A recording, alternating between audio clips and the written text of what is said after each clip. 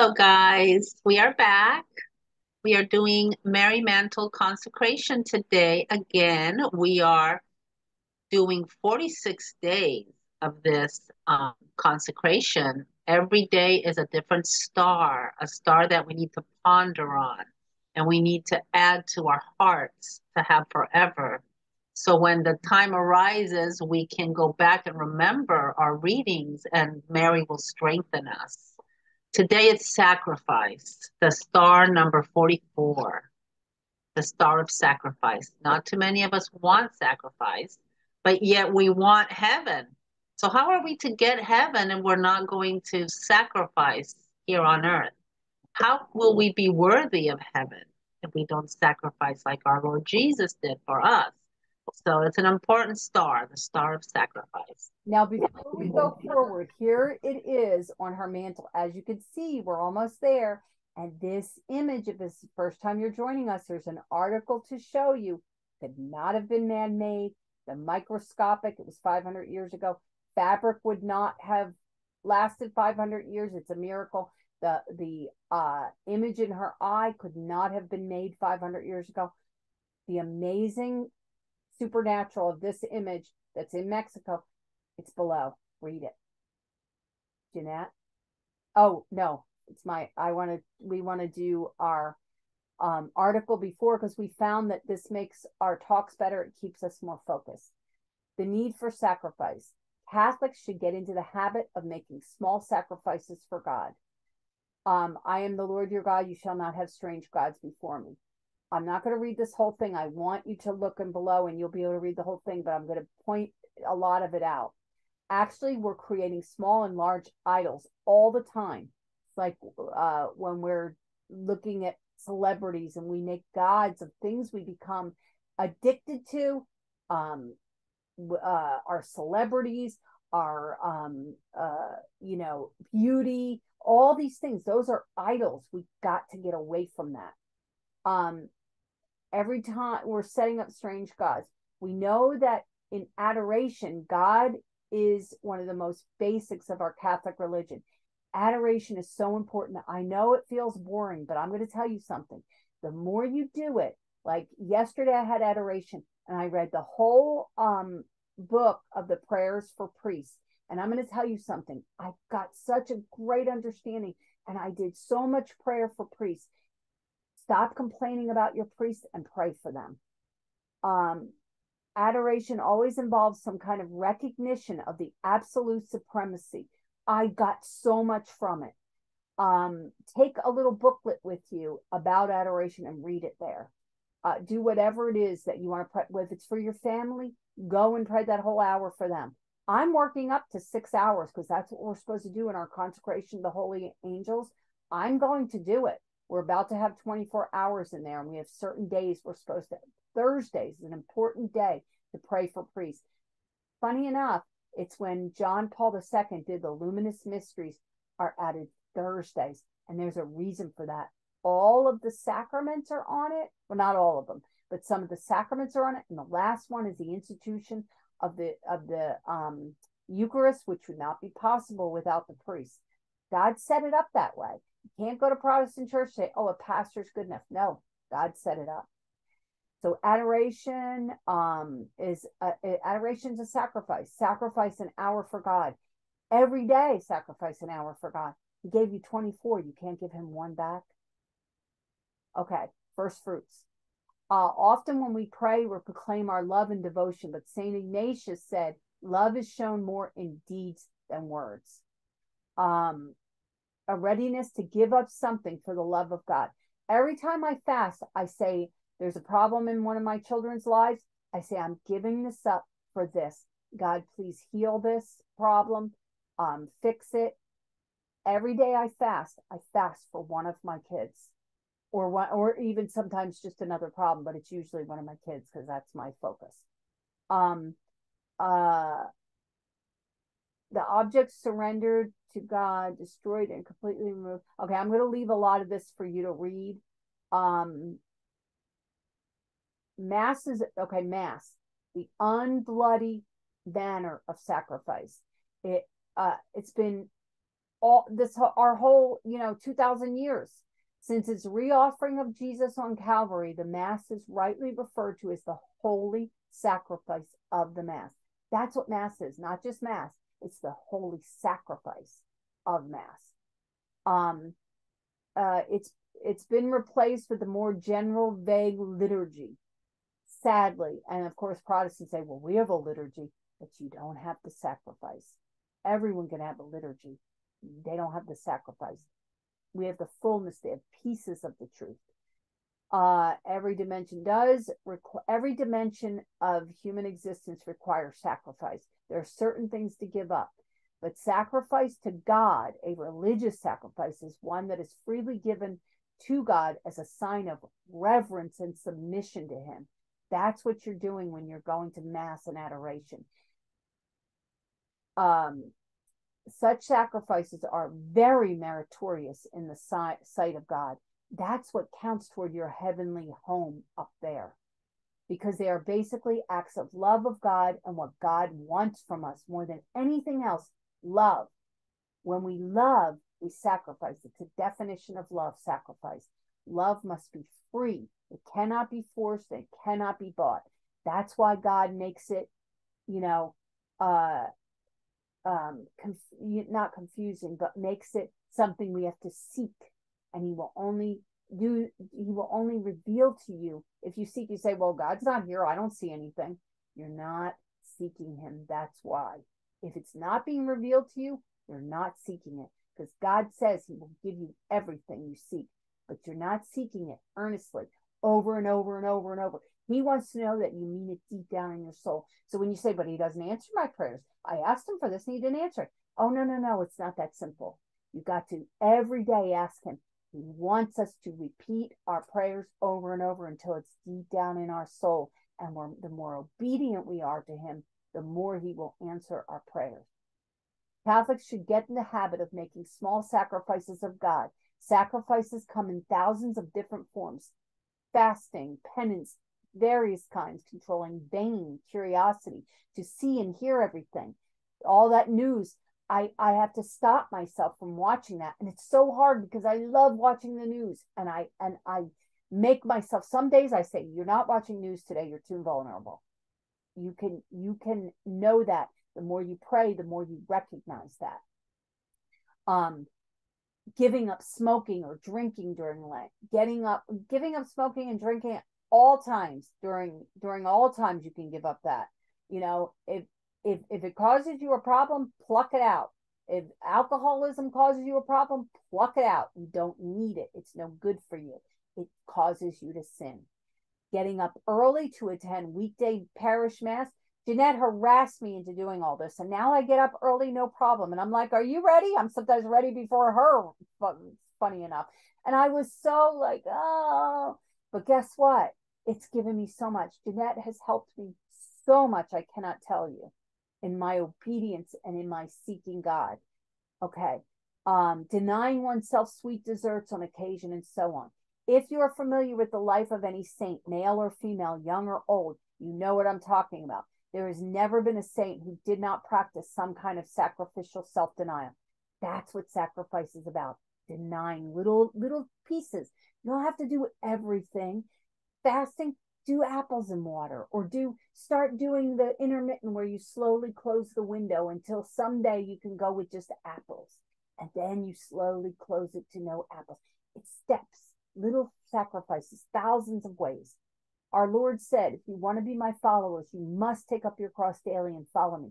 Those who try to lead a Christian life cannot expect to avoid what Jesus did not avoid the cross. As many Christian, you'll be persecuted no matter what whether you do right or wrong you're you're you're going to have a tough life. So why don't you do right and, and make it a little better and at least offer those sacrifices for your heavenly home. Remember it's just like saving in your uh in your uh thing where they call those investment things? Your investments. It, invest in that. As many christian writers have pointed out in the past the baffling thing about the cross is we all have to carry it whether we want to or not. For those who accept and submit to god it's salvific. For those who reject it, it's an occasion of damnation. We our cross can either lead us to God or not. My cross led me to him. I didn't know God. I wanted to know him. I wanted to understand him. It took evil for me to understand it. It took me looking in the eyes and being pursued by evil for me to get it. I was hard headed. I'm not anymore. Now I'm like, yes, God, I'm going to be obedient. Yes, you told me to do that. Your guardian angel can help you, but you got to listen. You got to listen for his voice. The more you pray, the more you will hear it. We should often pray for grace to be able to accept and offer up the crosses that the Lord send us. And damn it, don't deny your sins. Face them, say you're sorry, and move forward. Okay, Jeanette. Go. Do you have anything to say before we go, or do you want to save it for after? Let's save it for. It's it's your turn to read. Oh, my turn. Sorry. Blah blah blah blah blah. Sacrifice. Thank God my lung thing is healed, so I can at least talk a lot more a degenerative sacrifice, a degenerative disease, a lifeless sacramental marriage, a wayward child, a terrible injustice. What is the meaning of such, such sacrifice and hardship? Of what use is it? When the very first human heart suffered, that was a, its cry. There is no one who, in a moment of anguish, has not asked the same question, either explicitly or in a confused way. The darkest tragedy, however, lies not in the suffering in and of itself, but in the in suffering uselessly. A girl is abandoned by her father and turns to heroin to ease her pain. She dies from an unplanned overdose with a needle still protruding from her arm, her cherished dreams dying with her. Such meaningless tribulation in and around us breeds and foments rebellion in the soul to the point we can become consumed with a futile resentment or blind rage against life and God. That's why I had to learn to forgive my father an alcoholic. When Jesus walked this earth, the turbulence and hatred raised in his footsteps were of such magnitude that his life, humanly speaking, went up in flames and turned to ashes, ending in unspeakable calamity and suffering. The difference, not a drop of his blood was shed in vain. Every flash of the whip, every blood curdling scream, ugh, every piercing thorn, the pernicious insult that stabbed him was his offering of love for the salvation of the world. And every moment of our suffering is meant to be the same. This is the secret behind all redemptive pain and voluntary sacrifice. Come, Take up your cross and follow me. Mark 8:34. When you fast, do not look gloomy like the hypocrites. Matthew 6, 16a. Calculate the cost. Luke 14, 28. Every one of you who does not renounce all his possessions cannot be my disciple. The possession should not mean more to you than your life, and neither should greed to get them. Luke 14, 28, 33. Our suffering can save souls. Tell your story. Jesus came to heal and alleviate our needless and worthless self inflicted pain. He will try at every turn to claim our attention and shout, Wake up, this is needless. You are the cause of your agony. But when in communion with the suffering Christ, we offer to God our unavoidable sufferings. Meaning is restored and rebellion melts away. So when you your child has a genetic disorder, remember our genes are from our parents and they're carried forward. And a lot of it is from sin. And you are left with your ancestor's sin. What can you do? Be obedient, take up that suffering, follow him, and guess what? consecrate your family so that the forward generations won't carry that weight.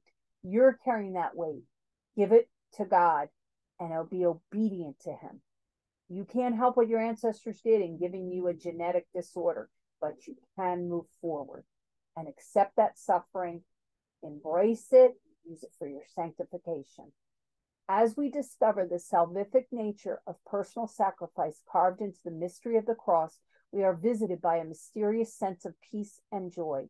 The time is coming, and it has already come, when believers in the footsteps of the Master will no longer be preoccupied with their personal pain, but will stretch out their arms to embrace a suffering humanity and make its wounds their own. So you won't be blaming everything for your little lifetime. No, you're going to take that pain and transform it.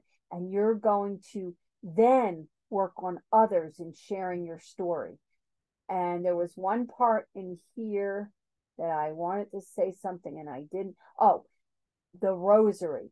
When you do the rosary, I'm going to tell you something. As I have no longer depended on the video and and doing it with the paper, I just have the acronyms now last to remember. I'm getting deeper and deeper into the mystery. And when I go through, like I think it was Friday, it was either Tuesday or Friday, because that's when we do the sorrowful. I felt every pain that Christ felt. And I thought, oh my gosh, every one of my sins gave him another lash. Oh my gosh. I need to sin no more because I love him. The closer you get to him, the more you say, I don't want to hurt Christ with my sins.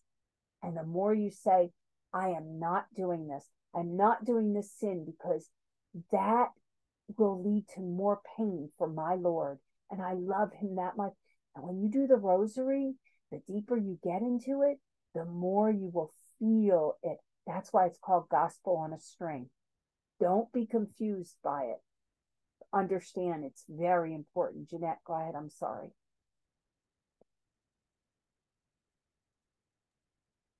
Oh, no, yeah, everything you said was perfect. I especially love the line where it says, But when in communion with the suffering Christ, we offer to God our unavoidable suffering meaning is restored and rebellion melts away as we dis- discover the salvific nature of personal sacrifice carved into the mystery of the cross we are visited by a mysterious sense of peace and joy that's beautiful because um suffering you always focus on the peace and joy i love that thank you well it's because suffering you know God wants us, Jesus wants us to carry our crosses. That's why he carried it such a long way to Calvary. That's why he suffered that horrific way to make it that anything we have in our lives can't even compare to that.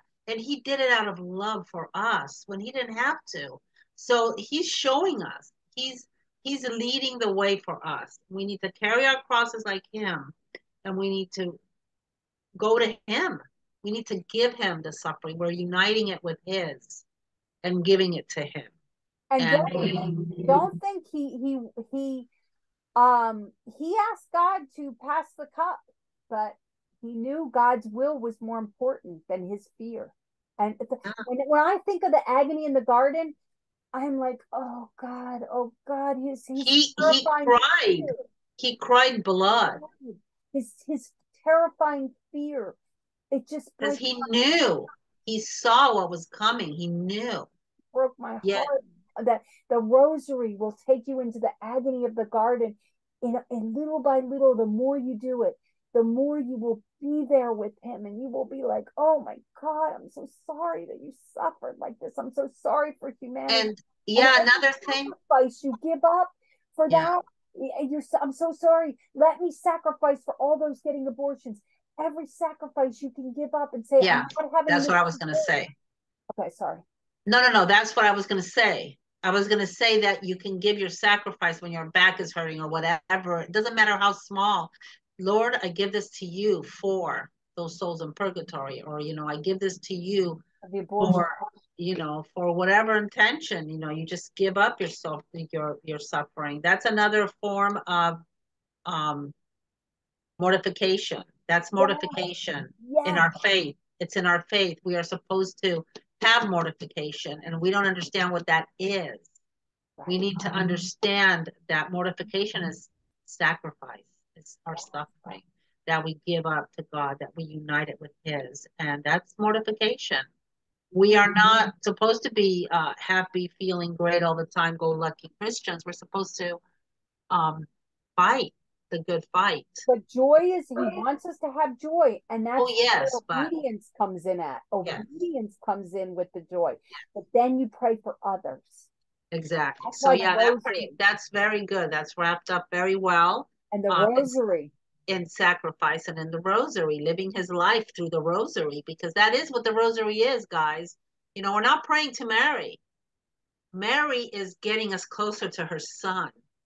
In the middle of the Hail Mary is Jesus. And we take that pause because the Hail Mary, the whole Hail Mary is wrapped around Jesus. She is sharing her experience. She is sharing, she is sharing his life.